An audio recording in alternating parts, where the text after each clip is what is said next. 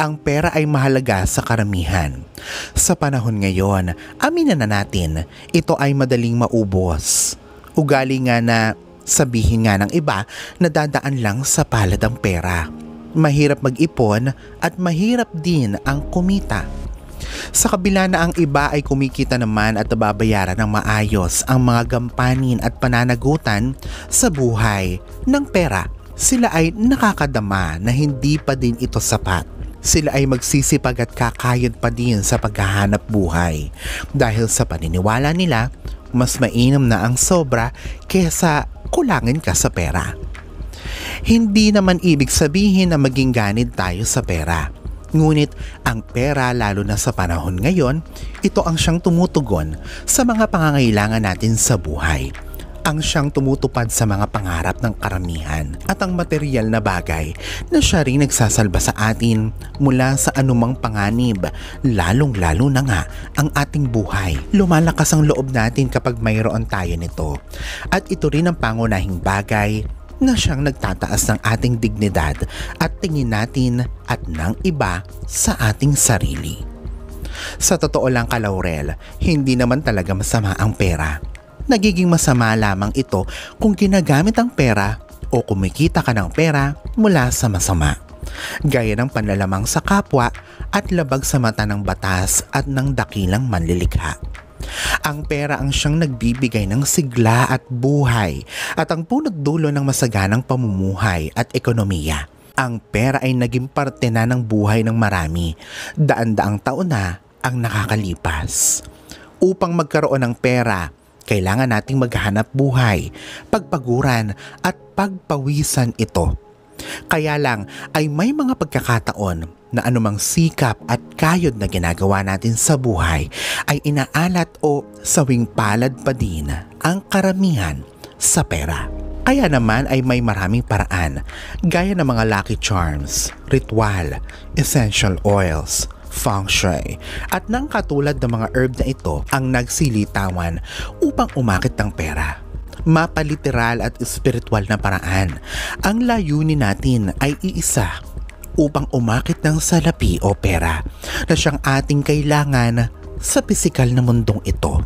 Sa video na ito, tayo ay muling magfo-focus sa mga herbs at ang mga ito ay mga herb na matagal nang ginagamit para sa pag-akit ng pera. Kaya atin ang alamin ano ba ang mga herb na ito at paano ba ang tamang paggamit ng mga ito sa pag-akit ng prosperidad at kasaganahan sa pananalapi. Like, share, and subscribe kung nagustuhan mo ang video na ito. Paalaala ko lang ka Laurel, huwag kakalimutan na maging maingat kapag ikaw ay gagamit ng isang halaman o herb. Huwag kang gagamit o magko-consume ng isang herb na hindi mo pa kilala at hindi ka nakakasigurado. Hindi ako isang profesional na doktor. Ikaw ay pinapayuhan na dapat na sumangguni pa din sa isang lehitimong manggagamot. Ang alfalfa, lingid sa kaalaman ng karamihan, ay isang pinakamatandang halaman na pinaparami upang mabuhay ang mga hayop at tao. Kaya naman sa lingwahe ng Arabo, ang alfalfa ay tinaguri ang father of all foods. Ang mga ugat nito ay kayang umabot hanggang 6 na metro sa ilalim ng lupa Ibig sabihin lamang, ito ay kayang makahanap ng napakasustansyang lupa at ito ay napupuno ng bitamina dahil sa mahabang kasaysayan nito na isang prolific producer na halaman, ito ay pinaniniwalaan na mayroong protective properties na siya nagtataboy ng kahirapan at kagutuman. Ang paglalagay at pagdadala ng alfalfa sa iyong personal na wallet ay nag-aakit ng kasaganahan sa pera at swerte. Maglagay ng isang paso ng alfalfa sa kusina upang makaiwas sa kahirapan sa pera. Maaari mo din itong ihalo pa sa mga ibang herb na kilalang pang-akit ng pera para mas lumakas at bumisa pa ang mga ito. Pangalawa, ang allspice, nakakahiyamang aminin sa iyo ka Laurel. Akala ko noon ito ay isa lamang pinagsama-samang pulbos na pampalasa sa mga lutuin. Ngunit ito pala ay isang herb din. Ang allspice ay isang ding luck and money bringing herb. Ang mga pinatuyong berries nito ay mainam na gamit sa mga money spell at charms. Ang isang paraan upang magamit ito bilang pampaswerte sa pera ay kumuha ng pitong buto nito at ilagay ito sa iyong bulsa o wallet. Ito ay sinasabing magdadala sa iyo ng swerte sa loob ng pitong araw. Pagkatapos naman ng pitong araw ay ipaanod ito sa tubig na umaagos. Habang pinatatangay mo ito sa tubig ay humiling patungkol sa pera. Ang paggamit ng berries o bunga nito ay mainam na ipausok bilang insenso sa iyong paligid para pa din sa kasaganahan sa pera. Maaari ka ding gumawa ng money charm gamit ito. Haluan lamang ito ng basil leaves at chamomile para makalikha ng isang malakas at potent na charm. Pangatlo, ang basil ay kadalasang associated sa kayamanan at prosperidad Ayon sa Hindu mythology, sinasabi na si Lakshmi, ang Diyosa ng good fortune o magandang kapalaran, ay nag-anyong basil. Ito ay pinaniniwala ang nagdadala ng wealth dahil sa ang mga dahon nito ay nahahawig sa pera. Para managana ka sa pera, ay simpleng magpwesto lamang nito sa tabi ng iyong main door. Pinaniniwalaan na ang pagpapalaki at pag-aalaga nito ay nagdudulot ng swerte. Kung gusto mo naman na gumawa ng isang malakas na charm para sa pera, ay magbabad ng dahon ng basil sa mainit na tubig at hayaan ito dito sa loob ng tatlong araw para maging essence. At ang essence naman nito ang siyang ihalo mo sa tubig na ipanlilinis sa sahig ng iyong bahay habang ipinanglilinis mo ito sa sahig, isipin kung papaano mo gustong lapitan ka ng swerte sa pera at managana sa buhay. I-focus ang sarili dito. Sa proseso na ito, ikaw ay aakit ng swerte at kasaganahan sa pera at ilalayo ka sa kamalasan. Maglagay din ito sa wallet sa parehong layunin. Ipaligo din ito upang kapitan ka ng swerte.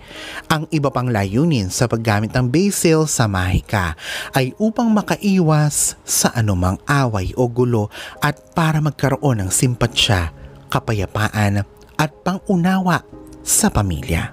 Pang-apat, ang chamomile ay napakainam bilang isang protective charm kontra sa kahirapan sa pera. Ito ay isang protective herb at malakas na pangontra sa mga jinxes o masamang dalangin ng iba para ikaw ay mahirapan sa pera. Kung ikaw ay nakakadama na parang ikaw ay dinasalan upang mahirapan sa pananalapi, ay maligo lamang ng tiyaan ng chamomile at ito ay siguradong mawawala kung ang jinx ay nakast para malasin ang buong kabahayan mo, ay ihalo naman ang tiyaan nito sa ipanglilinis na tubig para sa sahig. Ilang paso ito simula sa dulo ng bahay hanggang sa front door. Ang paglampaso ay dapat na papalabas ng pintuan upang ang malas ay mataboy din para ikaw naman ay swertehin sa loto o anumang sugal ikaw ay maghugas ng chamomile bago tumaya. Ito din ay gawin bago makipag-deal o kung ikaw ay nag-aahente para naman swertihin ka sa mga deal na iyong papasukin gaya ng basil, ilagay din ang dahon nito sa iyong wallet. Panglima, hindi katulad ng karamihan ng spices. Ang cinnamon ay nagmumula sa balat ng katawan ng puno nito at hindi sa mga buto o bulaklak. Malinam namang cinnamon at mainam sa anumang uri ng sakit sa katawan. Ito ay mas dinadagdagan pa ang iyong metabolismo pagkatapos na makonsume mo ito. Mainam ang herb na ito para sa indigestion. Bilang isang kasangkapan sa mahika, ito ay napakalakas. Pinaniniwalaan na ito ang pinakaswerteng panghatak ng pera at matutulungan kang maging matagumpay sa iyong mga business deals. Ang cinnamon ay ang siyang nagpapalakas ng anumang ingredient, kaya gamitin ito upang mapabilis ang bisa ng isang spell o mas gawin itong malakas. Kung gusto mong umakit ng pera sa tahanan, ay magbudbod ng cinnamon sa main door, papasok ng bahay. ito ay hahatak ng positibong enerhiya upang mas madagdagan pa ang daloy ng pera sa iyong paligid. Ang mga may tindahan ay kilalang gumagamit nito upang mas lumago pa ang kanilang negosyo. Pang-anim, kung gusto mo namang makaiwas sa inggit at chismis, ay magsindi ng pulang kandila na may clove sa paligid ng mitya sa araw ng Sabado pagpatak ng alas 3 ng madaling araw. Ang cloves ay isang herb sa mahika na ginagamit bilang panghatak ng prosperidad at swerte at partikular na ang swerte sa sugal magsunog ng cloves sa isang nagbabagang uling bilang insenso upang swertehin ka sa pera. Pangpito, ang luya ay isang paboritong halaman. Ito ay talagang versatile o pwedeng magamit sa anumang purpose o layunin.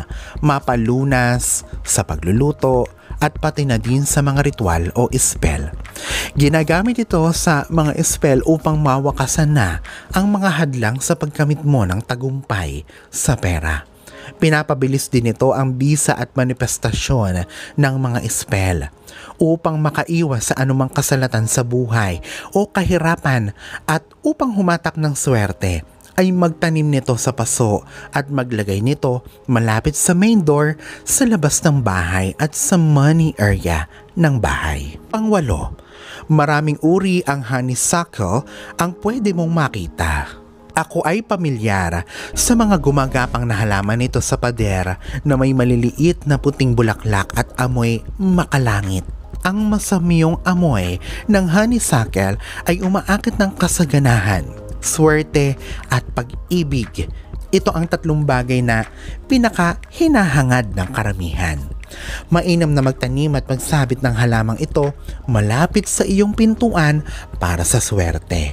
Gamitin lamang ang mga bulaklak nito sa mga espel. Bukod pa diyan ay wala ng iba dahil maaaring poisonous ang iba pang parte ng katawan nito. Sa paggamit nito sa paggamot ay humingi ng gabay sa isang eksperto. Pangsyam, siguraduhin na mayroon kang matalim na grater o pangkudkod dahil ang nutmeg ay isang matigas na herb. Sinasabing ang nutmeg ay isang ultimate gambler's herb magdala ng buong nutmeg sa iyong bulsa upang humatak ng swerte. Ang isa pang paraan ay magkayod nito upang maging pulbos direkta sa iyong mga sapatos. Bago suotin ito, kapag pupunta sa kasino o di kaya ay tataya sa loto. Magdala din nito kung ikaw ay may legal na kaso na kinakaharap at pati na din sa paglalakbay. Pangsampu, ikaw ba ay nagsisimula muli at naghahangad ng isang magandang simula? Ang time ang kailangan mo para diyan. Bagong pag-ibig, bagong negosyo, bagong bahay. Isama mo na ang time sa iyong mga spell, kalaurel.